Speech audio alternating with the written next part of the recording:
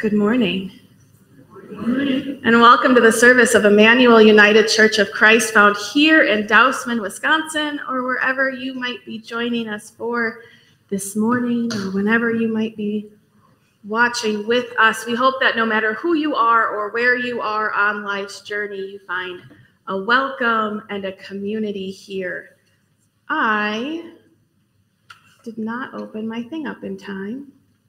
But we do like to start our day with celebrations. Is anyone celebrating anything particular this week? Yeah. Sunday school. Sunday school is starting again, which we're super excited about. Donna, do you remember? It'll be up in a second. I promise. There we go. There's a new puppy this week. A schnauzer. Well, we look forward to meeting your schnauzer puppy on October 9th to bless it. We are celebrating 16 years of membership here in Emmanuel of, of Genie. And so we are grateful for your ministry in and among us in this space and outside of this space. Community, beloveds, will you stand and join me for our call to worship? Focus. God brings us through the floods. God's promised life is God. Rejoice, for your God saves. We rejoice in God's. Will you join me in prayer? Saving God, you promised Noah you would never destroy Remind us daily of your intense love for your whole creation and help us to love as you love. Amen. Amen. Let us sing together. In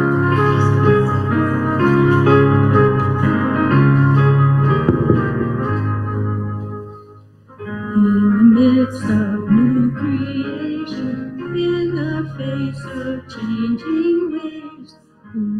the pilgrim people wandering in their separate? God fiery pillar, leading where the eagles soar. People, the journey, now and ever, now and ever, now and evermore. Through the flood of starving people, weary affections and despair, who will lift the olive branches? Who will light the flame of care? God of rainbow, fiery pillar, leading where the eagles soar. We are people, ours the journey, now and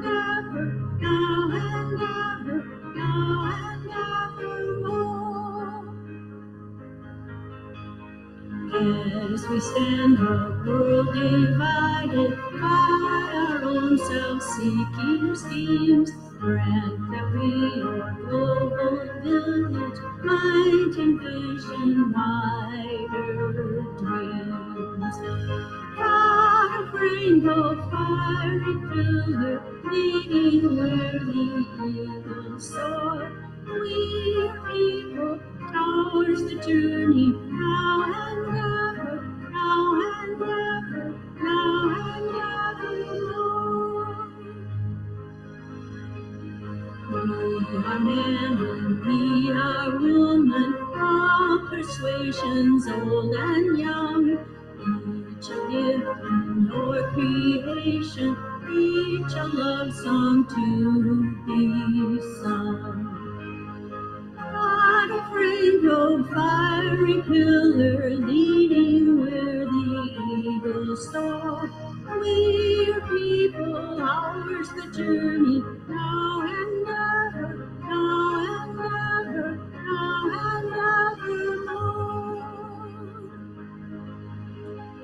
Should the threats of dire predictions cause us to withdraw in pain, your blazing phoenix spirit resurrect the church again. God of rainbow, fiery pillar, leading where the eagles soar. We are people, ours the journey, now and ever, now and ever, now and evermore.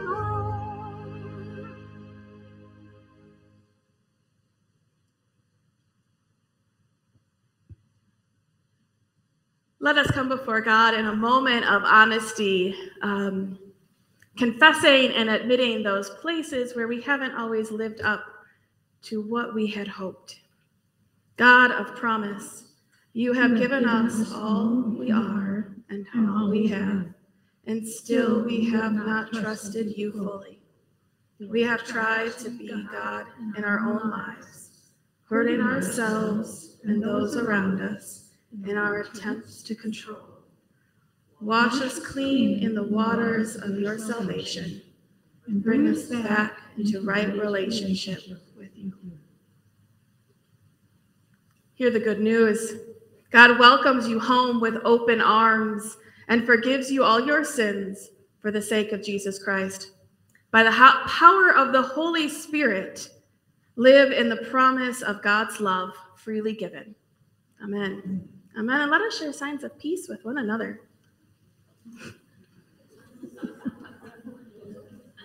Peace.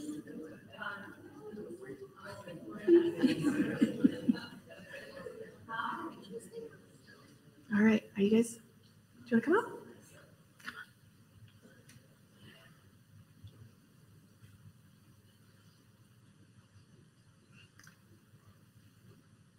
Hello. How's it going? You're peeking in there already, huh? Are you excited to start some Sunday school again? Yes, I love that you're both wearing rainbows. Did you know we were going to talk about rainbows today? No. Ugh. It could be a coincidence, could be a God thing. Could be. Well, we have a little bit of a story, but first it comes with some handouts.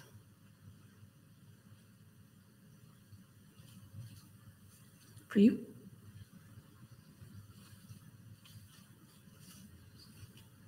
For you? Yep.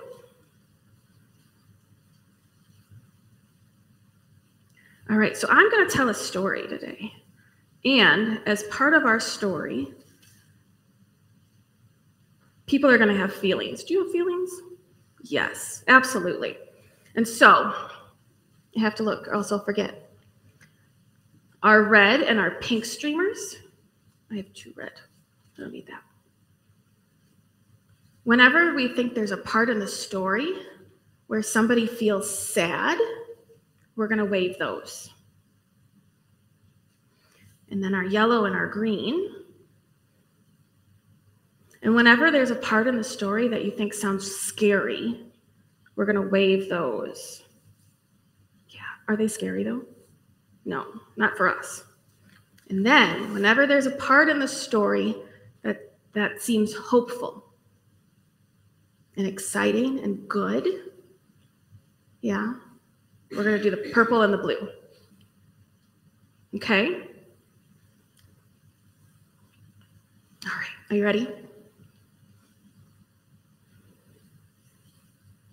You can wave them any anytime or all the time. Okay. God had created a beautiful world and everything in it. I think that seems hopeful. I like it. God loved all of it, but the people God created were mean. Seems scary. Do you get sad too? I saw you reaching for those pink, the red one. I think it could be both, right? They forgot about God and they hurt one another. And the whole world was crying out in sadness. Mm-hmm. But God loved God's creation too much. So one man named Noah still loved God. So God asked Noah to save God's creation. He would send a flood to destroy the earth. What do you think? Oh, yeah. Mm-hmm. And the storm and the floods would be scary. But there was hope for God's creation. Noah would build a boat. And Noah would put on the boat two of all of the animals and some of the plants that God had created. What do you think? Yeah. Then the floods came. And when they were done, Noah freed the animals and planted the plants, and there was a new beginning. What do you think? Are new beginnings scary or hopeful? Yeah, I think so too. God put a rainbow in the sky with a promise that God would never flood the world again. What do you think? Yeah. That's pretty hopeful. What was the scary part? Do you remember? The flood. Yeah. And what was hopeful? A lot was hopeful, right? And God's promise to always love the world is still, and God's promise to never flood the earth again. Yeah. What is a promise? Have you ever made a promise? Yeah. And you do it. Yeah. Do sometimes do you break a promise sometimes? Sometimes. And sometimes we don't mean to, right? Yeah. Do you think God breaks promises? You do? What do you think? Sometimes. Oh, we all do. Yeah. Well, we hope God doesn't. Can we hope? Can we hope that? Can that be our purple blue? Yeah. Because God loves us so much. Did you hear what the sign was for our? Did you hear what God put in the sky to remind? A rainbow. So, our whole next bunch of weeks, we're going to talk about promises that God makes, and each week is going to have a color. Can you guess what color this week is? Red. We'll go all the way through them. I had a couple of things for the day, though. What do you think one of the things we should do because God loves the earth so much? We should take care of it. Yeah. So this is our hand. What is, can you read what it says? Fragile. Handle with care. And then all of the states and the countries and some cities. Yep. We'll put that there. All right. Well, will you pray with will you say pray with me? Dear God, thank you for loving us. And thank you for your beautiful, colorful promises. Amen. Amen. Well, don't go anywhere yet. I forgot to change our sign. There we go. It's our first day of Sunday school, which is pretty exciting. We're glad you're here. It's kind of a kind of a rainy day out. Do you think the world's going to flood? Not here. No. No. Someplace it might. Yeah. So we are going to do a little blessing. We're going to bless our teachers. Even if they're not all here, we're going to Miss Kristen to come up.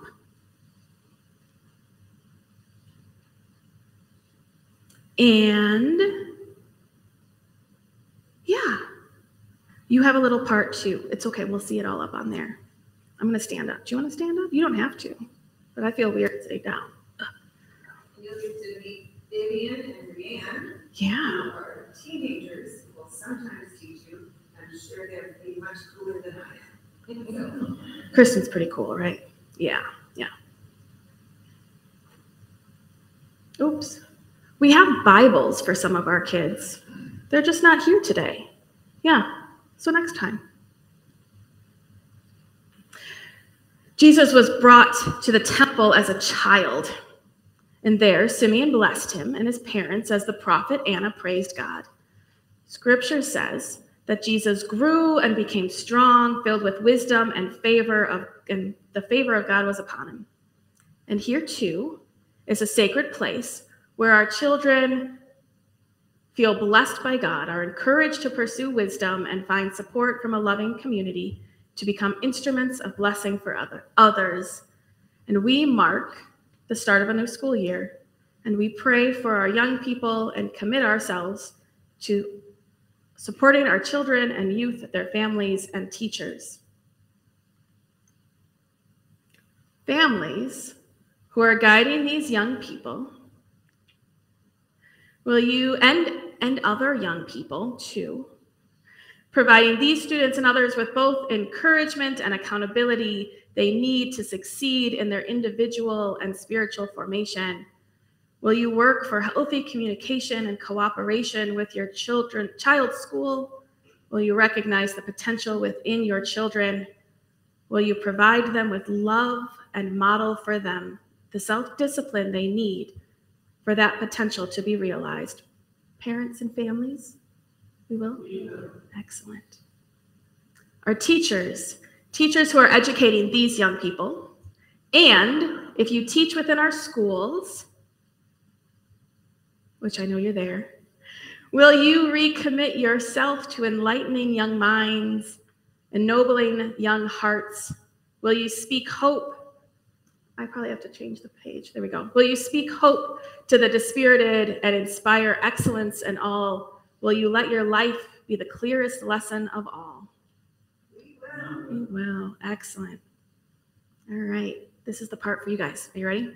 Students, look around. Look at all those people. All of those folks are praying for you and are committed to support you as you strive to grow into the, God's fullness into your life. Will you honor God's gift to you by developing your minds and your bodies and your spirits? We will. We will. Excellent. And congregation, community, you who are like an extended family to our students, will you encourage our teachers, parents, and children? Will you lend your wisdom and support, your time and your patience, your prayers, and your resources to the communal work of guiding young people? Will you further commit to recognizing that all children in our wider community are our children? Will you seek ways to support quality education for every student? Excellent. May God bless all of us in the many ways in which we learn and we teach. Amen. Excellent. That is the end. You guys can go to Sunday school. Do you want to take your streamers with you, though? Do you want to take all the streamers with you? Yeah, do that.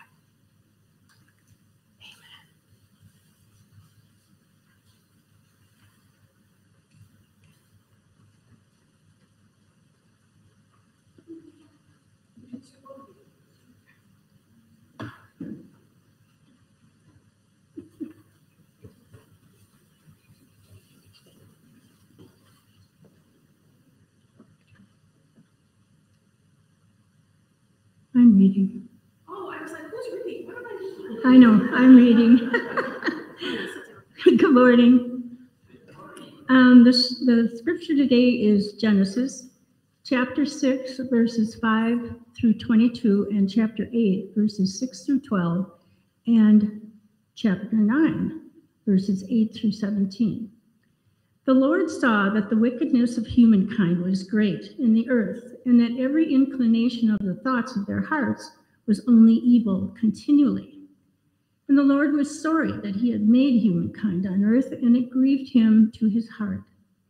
So the Lord said, I will blot out from the earth the human beings I have created, people together with the animals and creeping things and birds of the air, for I am sorry that I have made them. But Noah found favor in the sight of the Lord.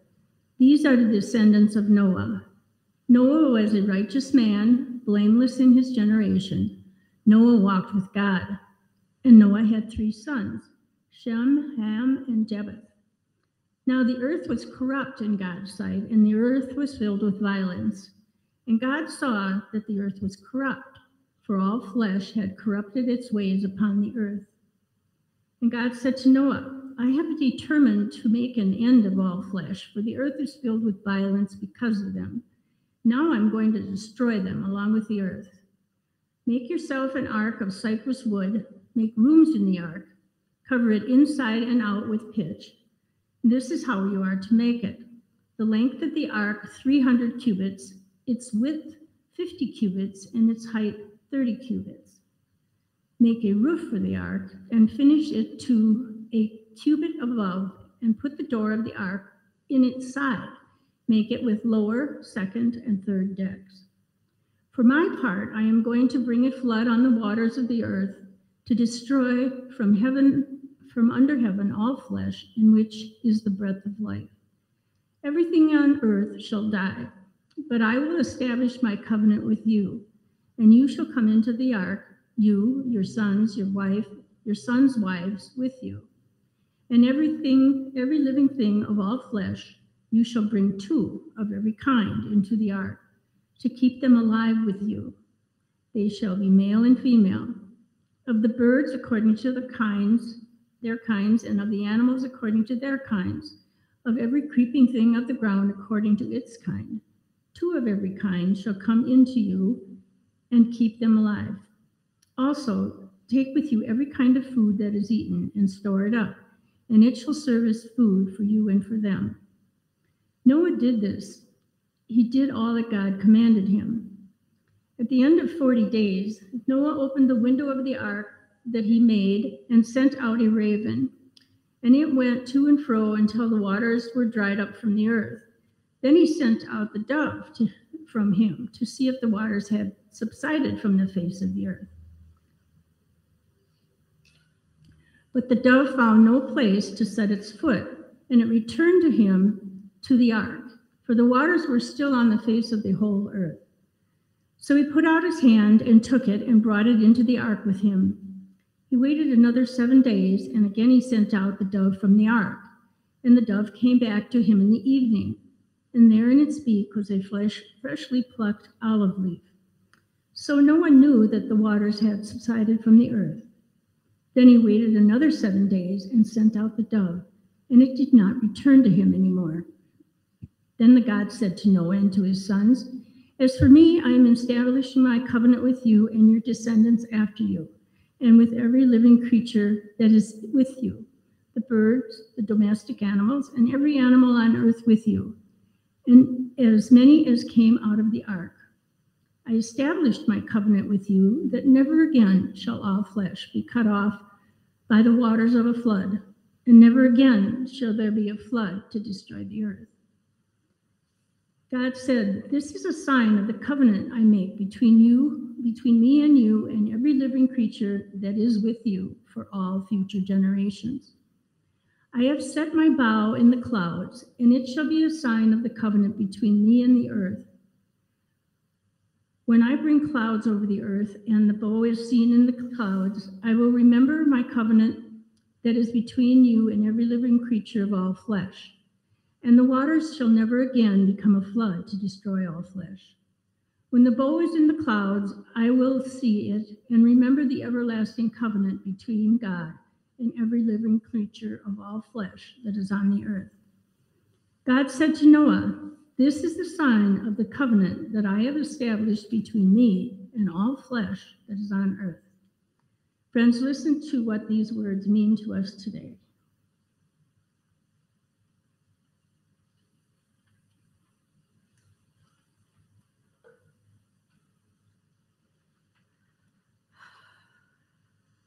That probably needs a prayer.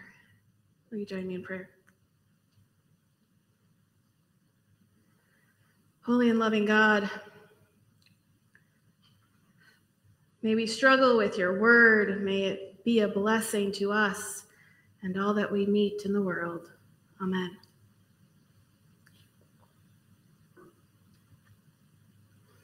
Last year, a friend of mine posted a question on Facebook asking why a loving God would send a flood and then proceed to commit genocide. And then asked uh, all of his friends who work for churches or work for Christianity to answer it. My response was twofold. One was that we have to discuss the role of the Bible, about how we interpret it, uh, its place in history. And the other answer was like, we just really like animals and they can be really cute. The story of Noah's Ark in art is really cute if you put it in a nice pastel color. And it's just a bunch of animals looking over the side of the boat as they sail across the open waters. On the other hand, it is horrifying if you take this text literally. And the images of the things that are floating in the waters around them. The story of Noah and the ark and the flood are some horrific combination of a children's story and an apocalyptic nightmare. And there are some who work really hard to prove that it is true. They do all kinds of math to prove that you could fill it with so many animals. And then they build the boat with the dimensions that are given in the text. And it turns out, even if you build the boat, it might not be seaworthy because the one they built in Kentucky suffered some water damage from their last floods. And it seems that they do all of this with the assumptions that the most important thing that they are doing is convincing folks that it happened just like this, literally in history, that the Bible says, and it happened. And I disagree. I don't think that is the most important thing about this story. The story of Noah and most of Genesis fall into what we generally consider prehistory. There isn't really a time frame given, it's just sort of out there in the ether. It's the myths of creation, of how and why the world is as it is. Who are these humans living on the earth? It is myth, and it is metaphor, and it is parable. And it tells the truth, even if it didn't happen this way. It tells us something about God that might be a little bit scary. And it tells us something about humanity that might ring true still today. And it tells us something about creation. The story of Noah is a story of recreation. With word and breath and clay, God made everything and named it good. God made humans and they were complicated. From the very beginning, humans wanted things. They wanted fruit, they wanted knowledge, they wanted affirmation. And we could look at each one of those things as they are mundane, even good food for sustenance and survival, knowledge for wisdom and understanding, affirmations because we all need love. But those desires have a downside, a negative extreme. Taking more than one needs or taking it from someone else, it makes sustenance that doesn't value another person. Knowledge that doesn't come with wisdom but rather the ability to benefit from a system that benefits some and not others. And seeking affirmation and affection in a way that diminishes yourself or others through abuse, assault, or manipulation. There are ways to live with our desires well, and there are ways to live with them that are detriment to another. They can lead to violence. And one other translation says outrage. They might even look evil. As humans, we are capable of great good and great beauty, great creativity, and great love, but we are also capable of great violence, great offense against each other, and great injustice. And God had made this whole creation good. And as time passed and God looked down at it, apparently from a distance, God saw the outrage and the violence of humanity. All that had been perfect and good had multiplied into evil. Did you know there's a whole collection of images of people trying really hard to make the same thing someone else made and failing miserably? They're often called Pinterest fails because Pinterest is the home of all wonderful things in the world until you try it yourself. These aren't mine, by the way. I'm not, I take no responsibility for that. Um, but I like to think of myself as creativity create a creative person,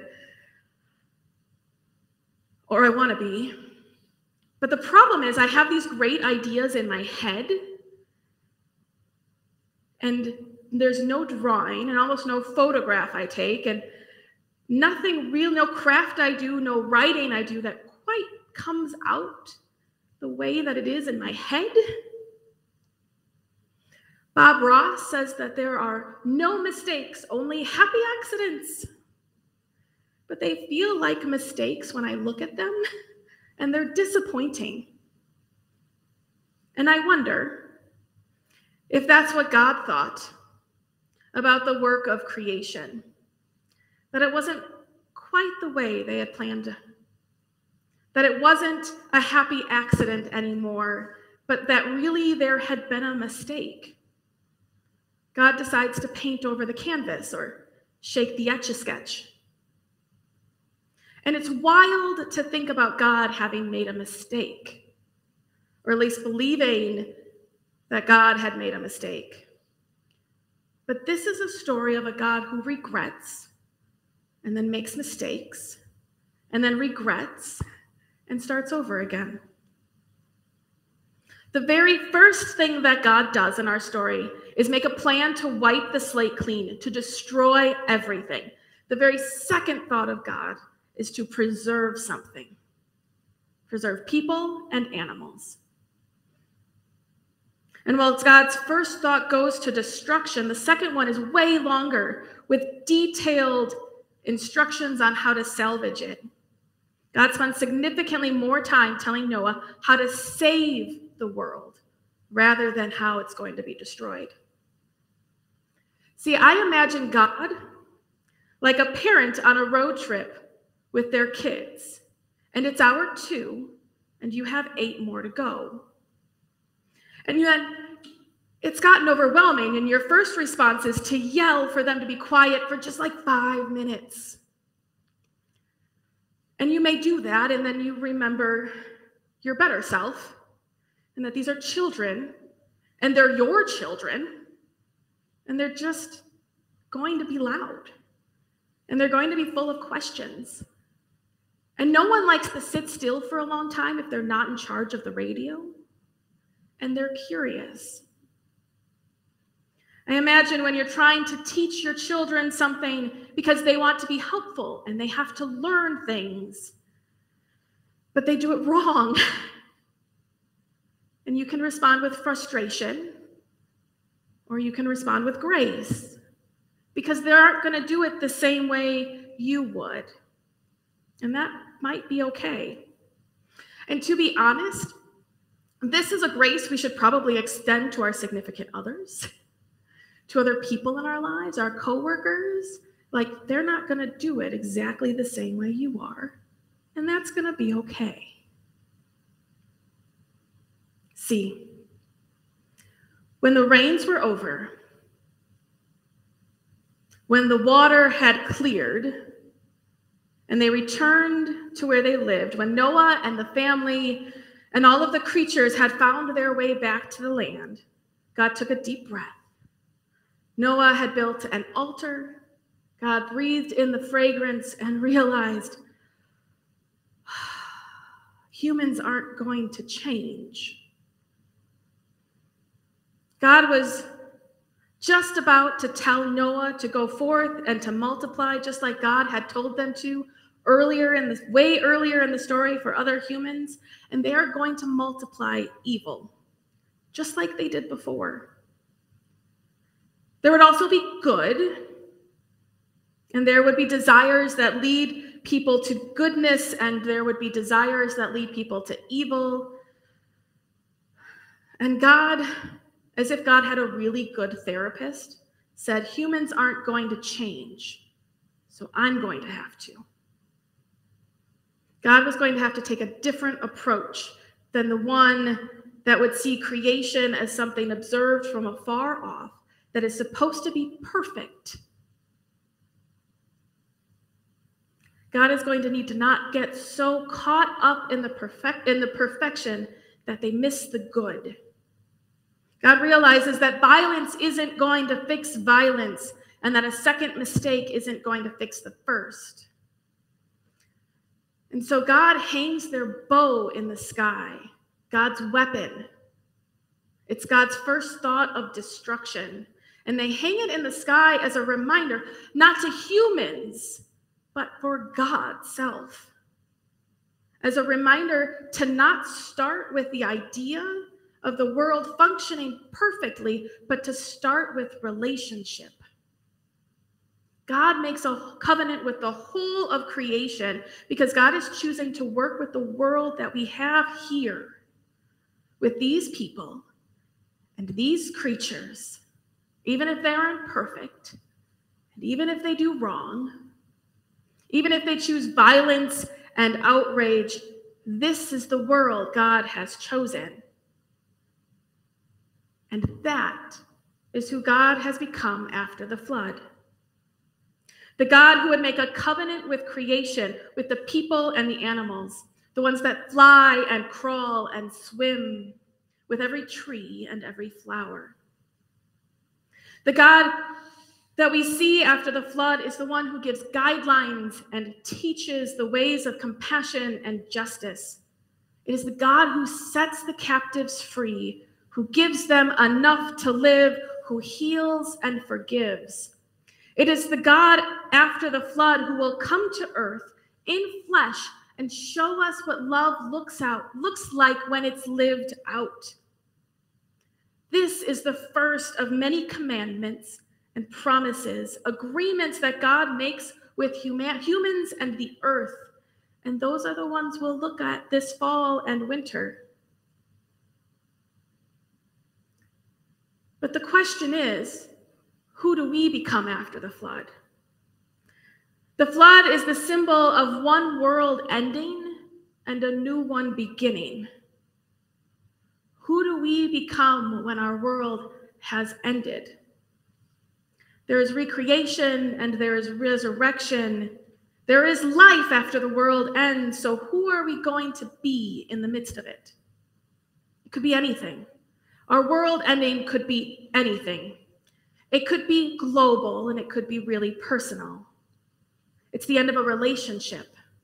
And that vision of who you are and who you were going to be in the future that was connected to that one person and all of the hopes and all of the plans, and they're all gone and they will never be.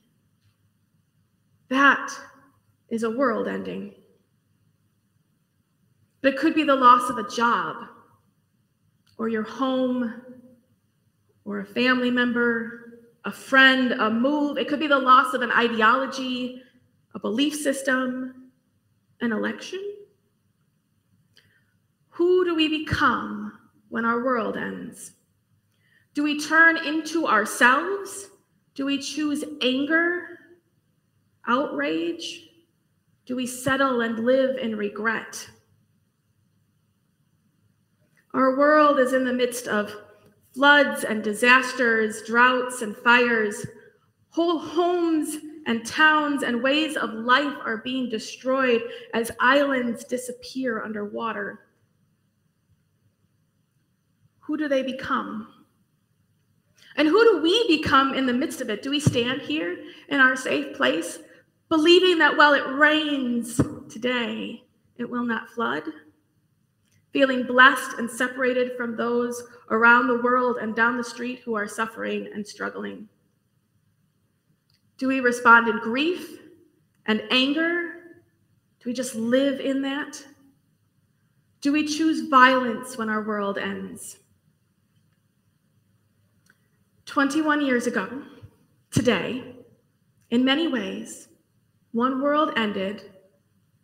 At the end of the Cold, the end of the Cold War brought an optimism that was the 90s, my golden years right there. And the optimism of the 90s came crashing down in New York City on this day in 2001. In many ways, who we became when the world ended were people who wanted to do good for each other, whom were moved in kindness and were connected. And for a brief moment, we hung our bows, promising unity. And then very quickly, we grabbed them back. And we have lived with that consequence for the last 20 years. It's not just war, but it is abuses heaped upon anyone who looked Middle Eastern, of any religion, who do we become? And we have lived, are living, forever living through a pandemic that was kind of world ending. And for a moment, it seemed like we were coming together as a humanity. And yet it still seemed like maybe that coming together was way shorter than it's ever been. But we are still figuring out who we are going to be on this side of the world ending. Who will we become? You and me and all of us together, we're not the same. We can't go back to 21 and one day ago, and we can't go back to January 2020. The floods have come, and the world as it was has ended and we've changed too. And we are going to multiply something, whether it is community or division, gratitude or greed, generosity or accumulation. And the church has a unique place in the world, even if we, the universal church, have often failed to live into it. We have a unique, unique place to be the place where all kinds of people come together with a promise that we are going to choose relationships over perfection. We're going to choose relationships over outrage and violence. We're going to choose to honor God's relationship and covenant with all of creation instead of manipulation and exploitation and neglect we are going to see God as our example, naming our mistakes and making a plan to do better for each other. Who are we going to be after the world ends? Is there something you need to hang up? To remind yourself to choose relationship over perfection and anger is there a community that needs to be cared for? Is there somebody who needs community? Because this is one of the reasons why we have church, why we gather together, or as often as we can, to nourish each other, to care for each other, to choose relationship over perfection. We learn to grow and learn and become together. We struggle with ideas and we still choose each other. And the reason It is the reason that we expand and we extend and we invite and we reach out to others because it isn't to force them to believe what we believe, but it is because we are better, all of us, in community. We are more likely to choose good when we have each other to count on. So, who are we going to be after the flood? After the world ends?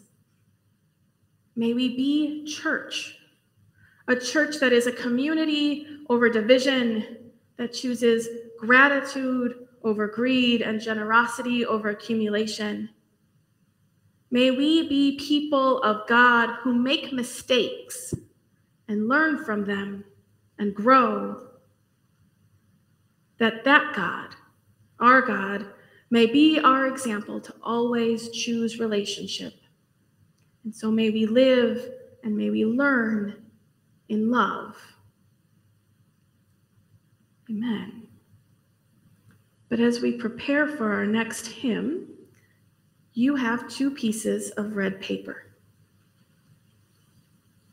On one, and there are extras if you want more than one, I'm going to invite you to write a prayer. Maybe it is a bow that you're going to hang up, or a person or a place where the world has ended and they're waiting on hope of resurrection and recreation. And we're going to make a paper chain out of them, and we're going to add to it every week of our prayers. The other one you're going to take home.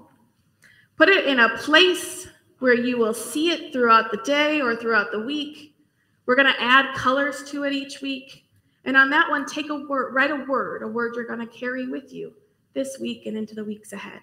And so, may those words, may those prayers be a blessing.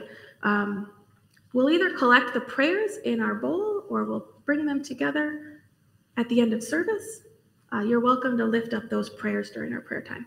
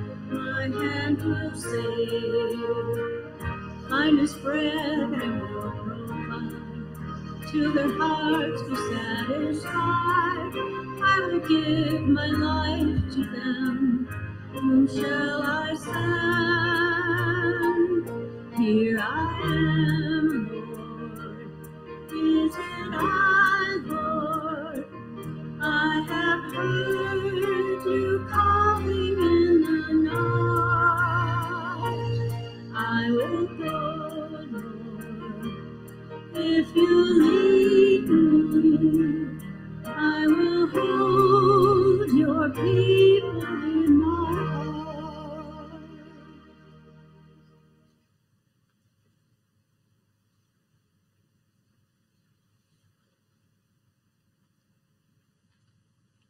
come to our time of prayer together. um,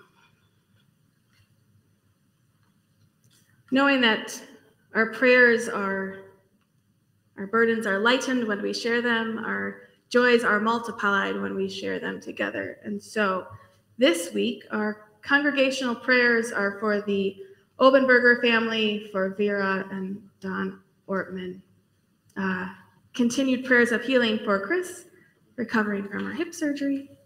Uh, for Fran and Ken Pike, for my sister Jessica, for Sandy Horn's sister Jay, uh, Gail, for Jerry Marheim, uh, for Corinne's sister-in-law Ca- Carola and friend Joanne, for Greg Jarrett, uh, for Jeannie's cousin John Patrick, for Ron Blachek's sister Joan, and Steve Thompson's friend Carl. Are there other prayer requests this morning? Yeah, Kathy. My friend Randy Smith and needs prayers. He has throat cancer. Or tongue cancer. Randy Smith.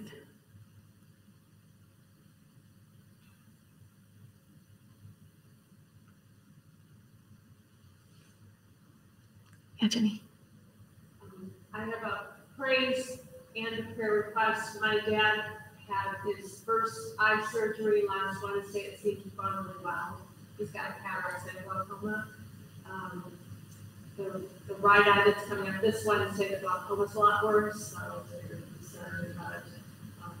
He's just rejoicing in being able to see colors and, and contrast so much better than he has for a long time. Absolutely. Jenny's dad, a celebration of the first good eye surgery and prayers for a good second on the other. That he may, yeah, seeing all of the colors and that'll be wonderful. Yeah, Kathy. Uh, Sue and Tom Stilling will be coming back this week, so prayers for them to have us in control. Absolutely. The Stellings are coming home this week uh, from, from, I was going to say from sailing. I don't know why that requires bird motions, but that's what I got.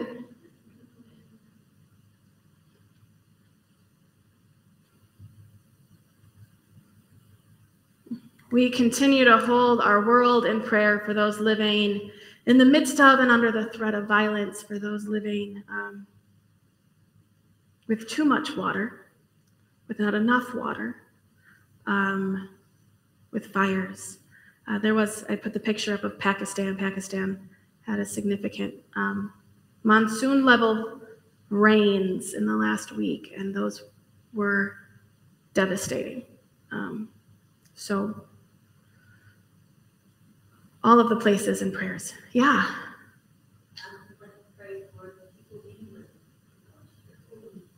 The people of England who've lost their queen. Absolutely. That it's going to be different. Yeah. For those grieving and for those who are transitioning in their respective roles or leadership responsibilities.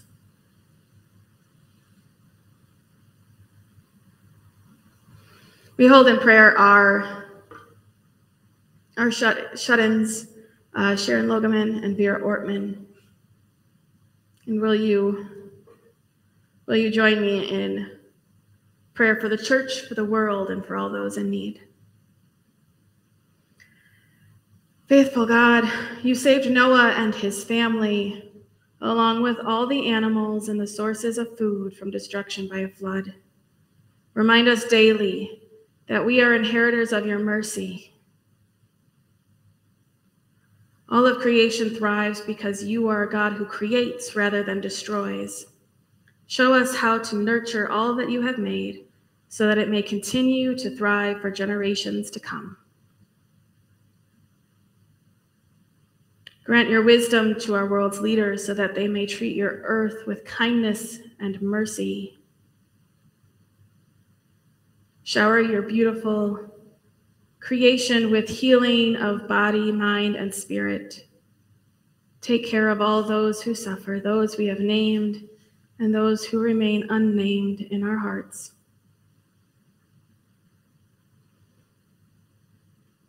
Give those with means the desire to share generously with those who have little or nothing. Balance this world with mercy and justice. With gratitude, we remember the saints for their leadership in creating beauty in this world.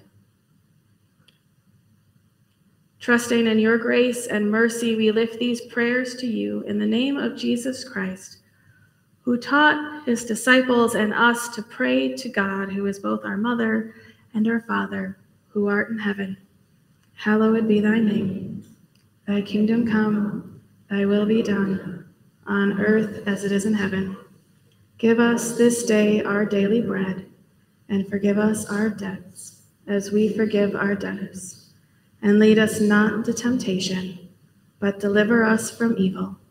For thine is the kingdom, and the power and the glory forever. Amen.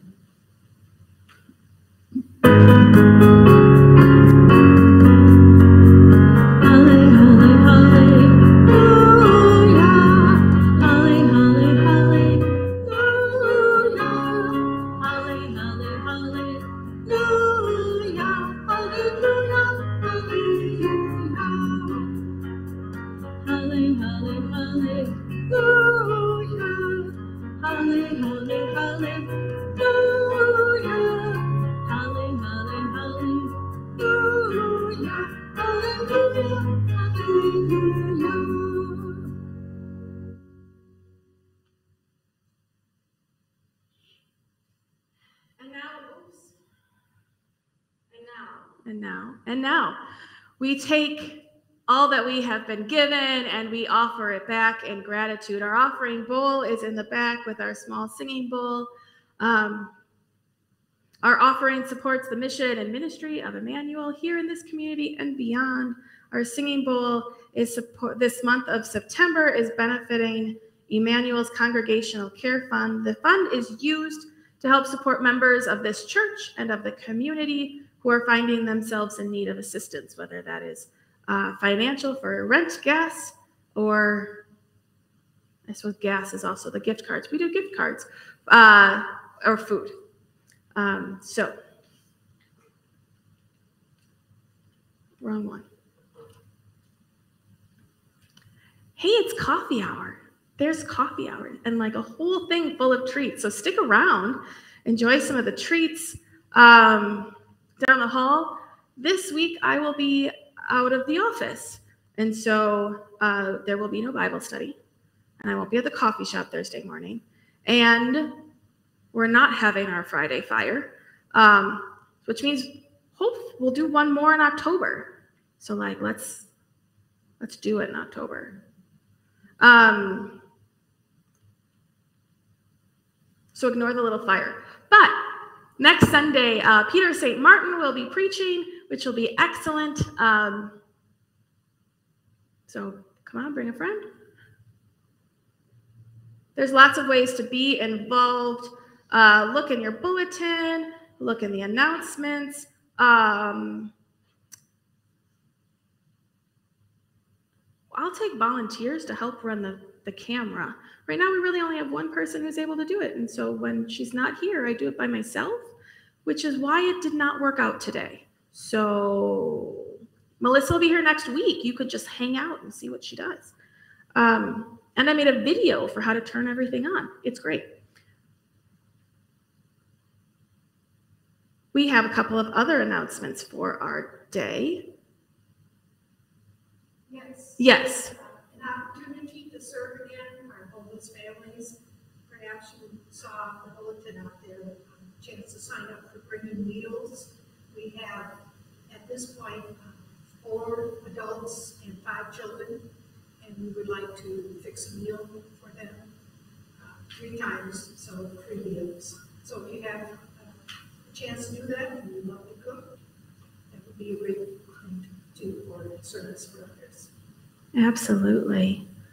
Uh, we're continuing to support Family Promise, not through housing them here, but supporting um, other ways in which our families in the Waukesha County are getting reestablished, getting their feet on the ground. And so part of that is offering ministry of food, which is like the primary way of doing ministry in the Bible. Like Old Testament, New Testament, Jesus, everybody. It's like hang out and eat food together. So find the sign up. Are there any other announcements today? Excellent. Let us offer a prayer of gratitude. All of creation is yours, gracious God. Accept these gifts which we return to you with gratitude for the sake of the world. Amen. Amen. Will you stand as you are able for our closing hymn in body or in spirit?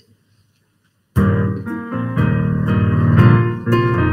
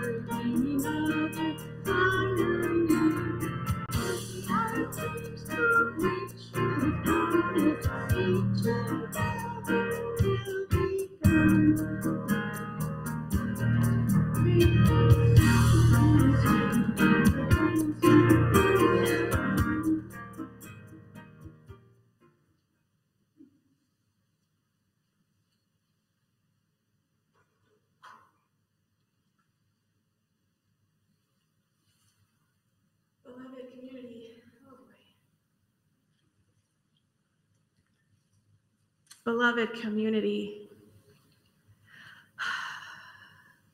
may you know that when the world ends or your world ends, it's not over.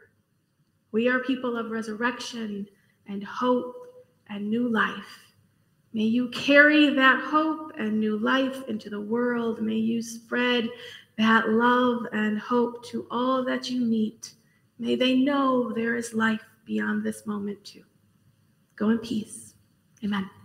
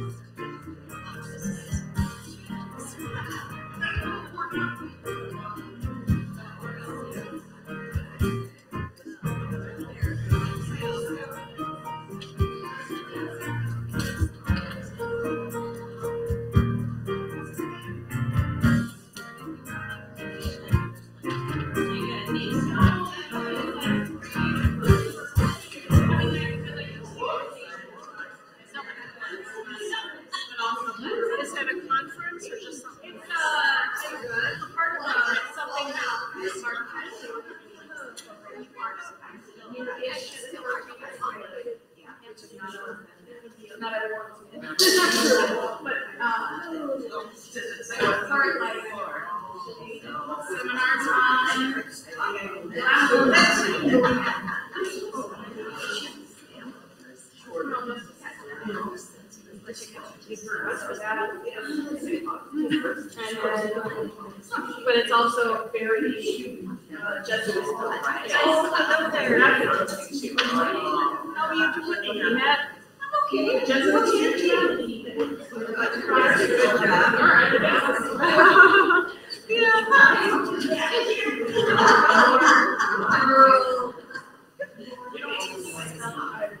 We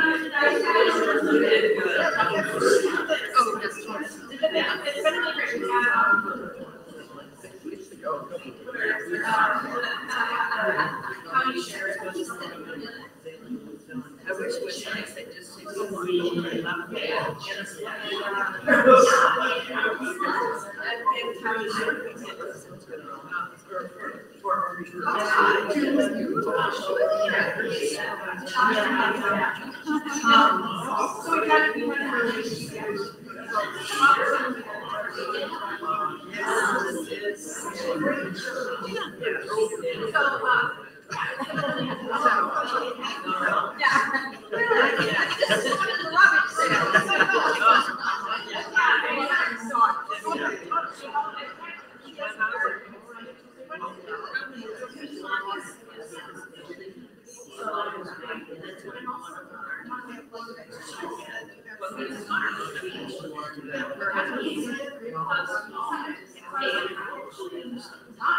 You'll be right before you know it. I forgot to say I named it this thing over here. Yeah. The bookcases, yeah. Snatched out the bookcases from the room printing. Maybe not wrong, maybe not. So I was like, I just.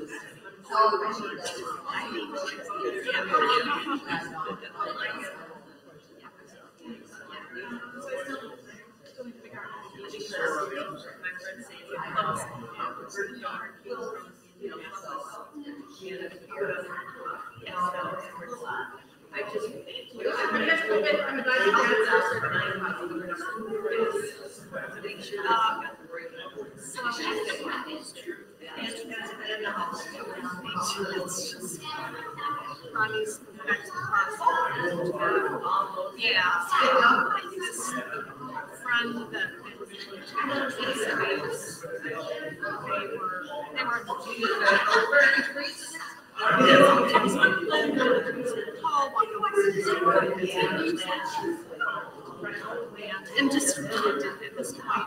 I, and I have a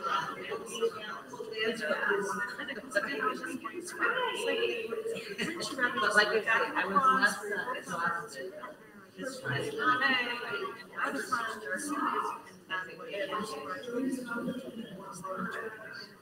So, um, gave notice, found an apartment, still needs a job. They're- It's the husband and Shirley Johnson family, right? They do the same job, they get four of them, the same. I'm sure, like, said, job, but I think it's like, it's kind of, that's how far we are. Yeah, but he's under. It's, um, just, on state Thursday, then he had a four week. Um, They have a sibling for their birthday, and she said, our fall weekend, we're going out. So I said, we won't be able to move it. We were gonna, we were anyways, my dad, oh, she's. Yeah, So I said, I'll try to speak. Right before that last oh, appointment, Tuesday, Wednesday, so. Yeah, uh, it does. Uh, I was just, didn't like it, Kind of weird, you know. I know, well, between everything. I did seventeen courses myself. And then.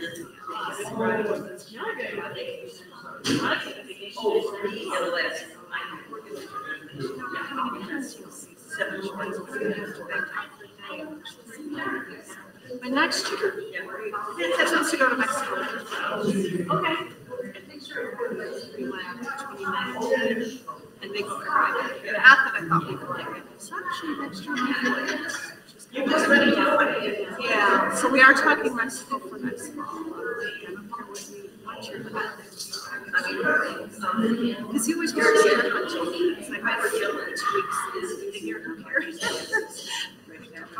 Okay, oh, yeah. That's a couple months. Those are busy months. That's when everybody visits in summer. Uh, yeah. Yeah. Yeah, it'll come. We'll get taken here